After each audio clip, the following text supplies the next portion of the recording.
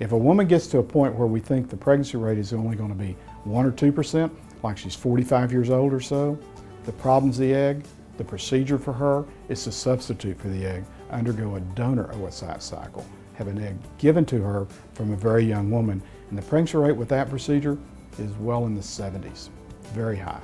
A lot of patients come in at, in the mid 40s and they really would like for their egg to work.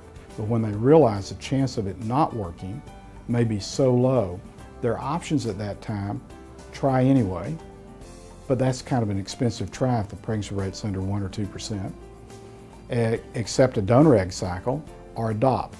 So usually what you do when you get to that point is you're really comparing a donor egg cycle to adoption. In some ways it's saying my ovary won't work, so I want to adopt an egg. Although adoption is a legal term, I want an egg given to me. It can still be my husband's sperm and I get to be pregnant. So it has great advantages over adoption. But they have to get to that point where they say, my ovary won't work, before they can move on.